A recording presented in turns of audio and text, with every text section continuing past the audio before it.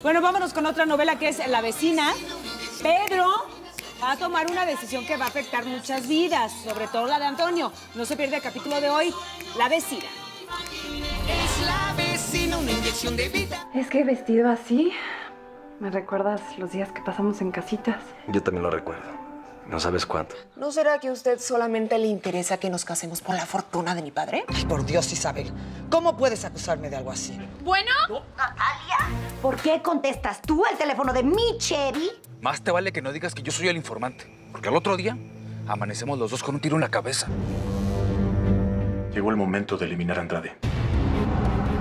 Tú no puedes negar también que sientes algo por mí. Sí. Pero yo me siento vencido. Y es muy difícil para mí manejar la derrota.